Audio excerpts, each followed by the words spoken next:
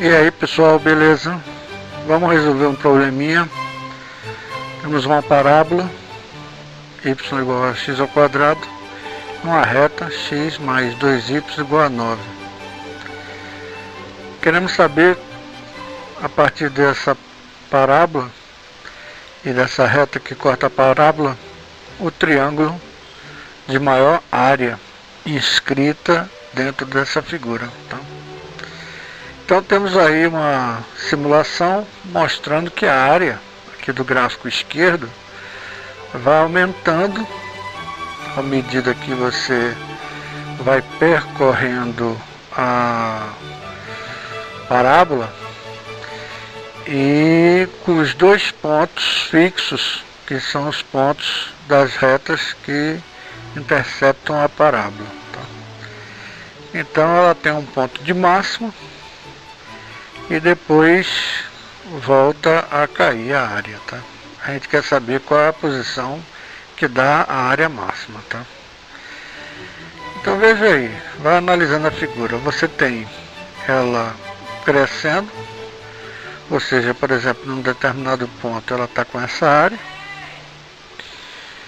E aí temos o gráfico da área pelo x, à medida que o gráfico da área vai se aproximando da, do ponto de máximo, a inclinação vai caindo. Né? Até que a inclinação se torna zero. Nessa inclinação zero, ela tem o, a área máxima. Beleza? Por isso que a gente deriva igual a zero. Que a gente quer saber qual é a posição que a inclinação dela é zero, ou seja, quando ela dá a área máxima, beleza? Então você já está vendo aí o problema, você tem aí o triângulo sendo formado e a gente pode analisar alguns pontos e pode verificar que realmente antes do ponto de área máxima e depois do ponto de área máxima, a área do triângulo é menor, tá? Então você tem aí, ó, nesse ponto 0,25, a área 9,75.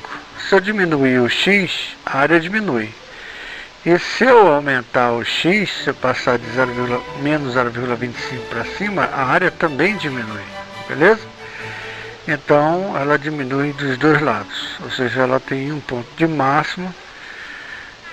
Aí a gente já está dando a, a resposta, né? Mas vamos ver como é que a gente faz o cálculo. E é, mas você tem uma ideia do que é está acontecendo, tá legal? Beleza? Então a gente vai resolver de duas formas diferentes, tá? Para chegar nesse valor de área máxima, tá? A gente vai resolver.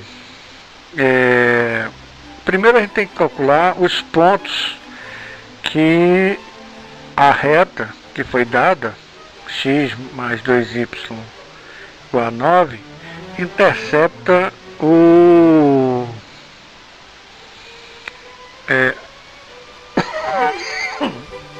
intercepta a parábola, beleza?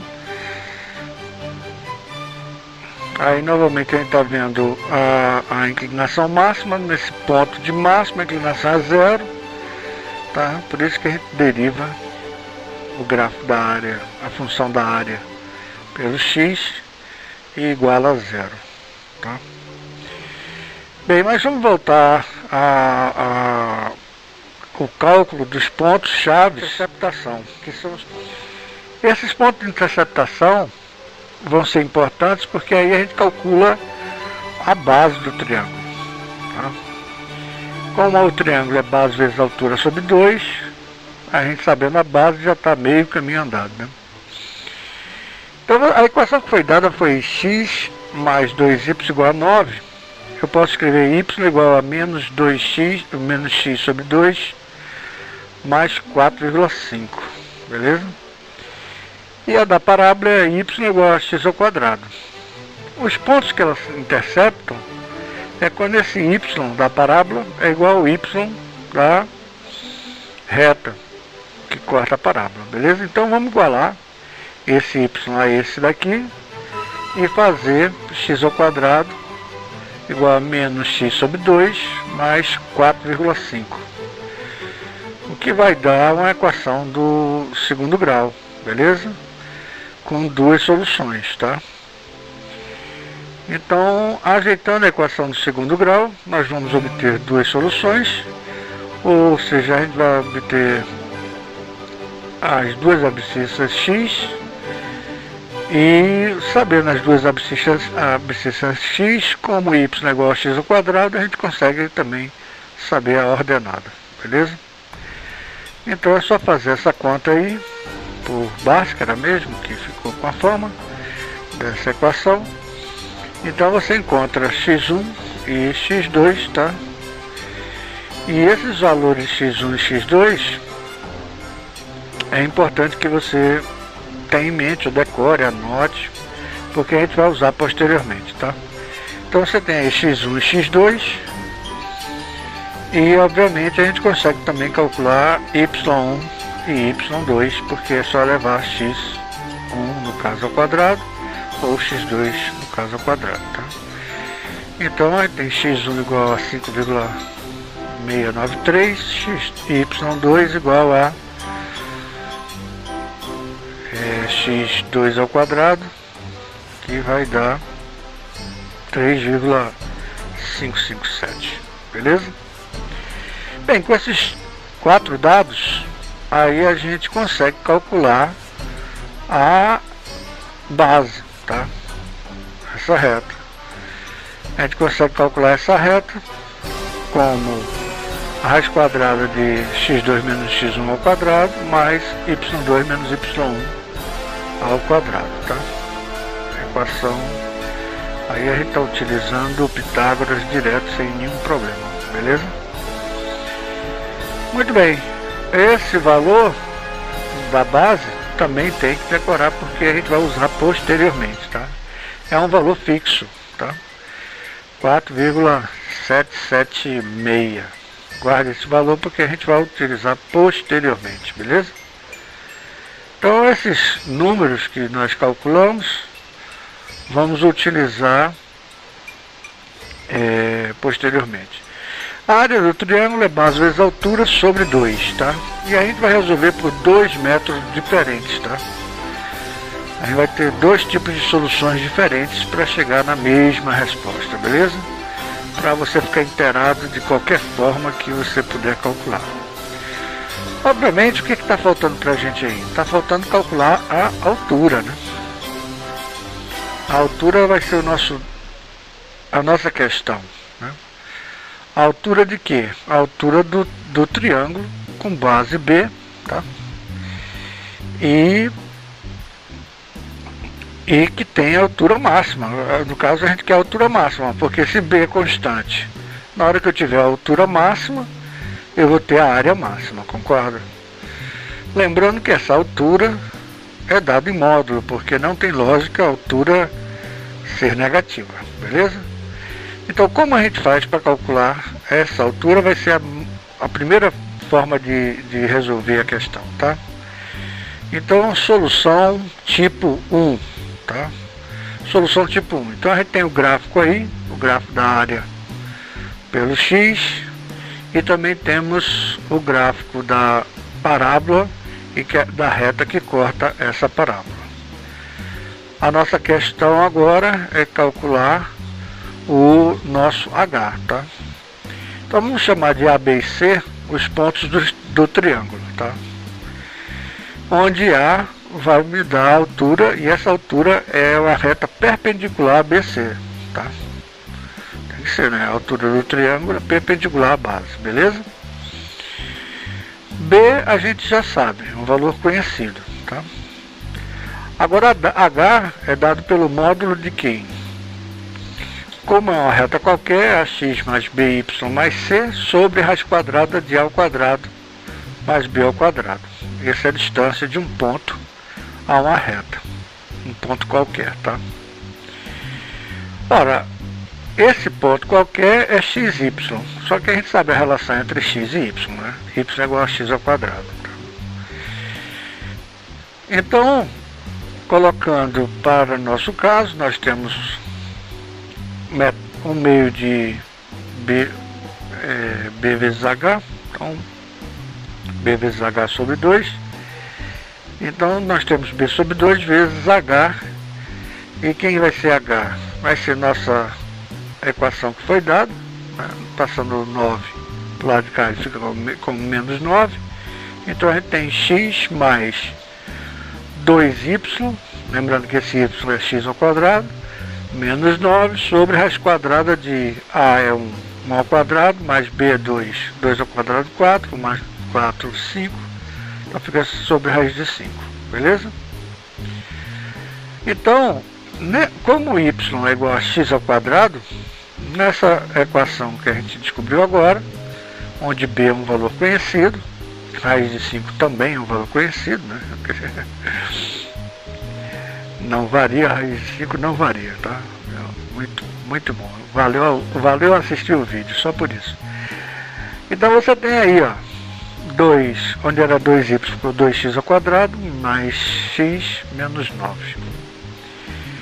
Agora, no ponto de máximo, vamos derivar essa, essa função da área igualar a zero, porque aí a gente tem um ponto de máximo, tá? Então, derivando essa função que a gente achou aí, onde b é um valor fixo, aquele 4, bem, não me lembro bem agora, mas depois a gente vai substituir. Então vai ficar 4x mais 1. Abrindo esse parênteses, aí vamos igualar a zero justamente para ver qual é o x que me dá a área máxima, beleza?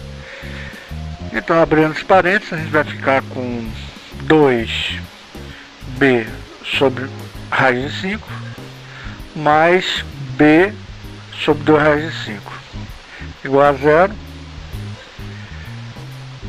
É, 2b sobre raiz de 5 vezes x, né? Mais b sobre 2 raiz de 5. Passando para cá, passando para lá, passando para cá, passando para lá, etc., você vai ter o que? Menos b sobre 2 raiz de 5 vezes a raiz de 5 sobre 2b. Então, raiz de 5 a gente pode cortar com raiz de 5. E B a gente pode cortar com B, vai ficar menos 1 sobre 4, que é menos 0,25. Ou seja, esse 0, menos 0,25 é o ponto que dá o máximo. Ele deu concordância com a nossa simulação gráfica ali, tá? Menos 0,25, beleza? Bem, agora se você quiser achar a área, como você já tem a função da área em função de x, basta substituir onde você tem x, substituir pelo valor que você achou. Né? A área é base vezes altura sobre 2, aquela base é 4,776 sobre 2, vezes y. y é, y, desculpa, é h. h é o nosso x mais 2y menos 9 sobre a raiz de 5. Lógico que a gente vai substituir, onde tem y, bota x ao quadrado, e vai substituir pelo valor que a gente achou agora, beleza? Que é o menos 0, menos 0,25, beleza?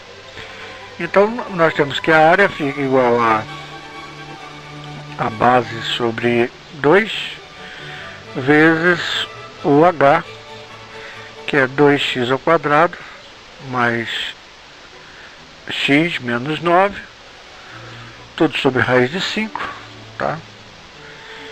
E lembrar que está faltando aí só sobre 2, é, beleza, 2 raiz de 5. Então agora é substituir os valores e fazer a conta, né? Então você substituir é, no lugar de x menos 0,25 e vai achar o valor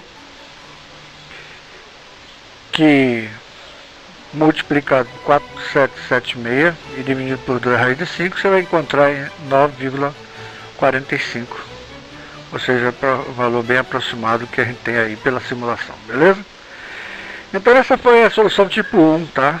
A solução para achar pela altura, beleza? Já que a base é reconhecida, tá? Outro tipo de solução, que é a solução 2, tá? Nós vamos calcular diretamente pela área do triângulo, tá certo? Então todas essas duas coisas, por exemplo, a distância do ponto até uma reta, a área do triângulo, sabendo três pontos do triângulo, isso tudo está em geometria analítica. Então se você precisar de saber a dedução de como é que chegou nessas equações ou nessas formas, a gente também deduz, tá? Aqui a gente está colocando já a solução, mas como chegou nessa nessas expressões a gente pode deduzir. Tá? Então, essa área do, do triângulo pode ser calculada pelos pontos do triângulo AB e C. Tá? Então, a área vai ser um meio do determinante, levando em consideração esses três pontos. x1, y1, x2, y2 e a nossa incógnita que é xy, só que sabemos que y é igual a x ao quadrado, ou seja, a gente vai ter a função de uma incógnita apenas, tá? Então a área é um meio do determinante dos três pontos A, B e C, tá? Então como é que a gente monta esse determinante, tá? Esse ponto da incógnita xy sabendo que y é igual a x ao quadrado, tá? Esse outro ponto é x2, y2 e o ponto B é x1, y1, tá? Então vamos colocar no determinante e aí a gente acha a área diretamente, tá? A solução mais simples, tá?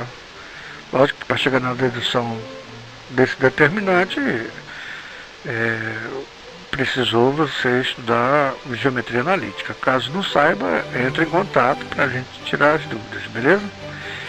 Então agora você faz o determinante, então você tem aí é, a área igual ao meio desse determinante, então como é que vai ficar o determinante?